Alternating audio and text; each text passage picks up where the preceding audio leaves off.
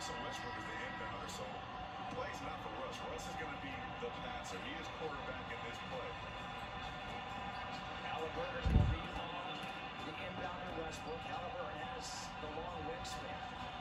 Right side protecting the hoop. Westbrook to inbound. No more timeouts remaining. Westbrook throws it away. Wow. It's going to be Sacramento ball. And this one is over. Sacramento comes here to D.C.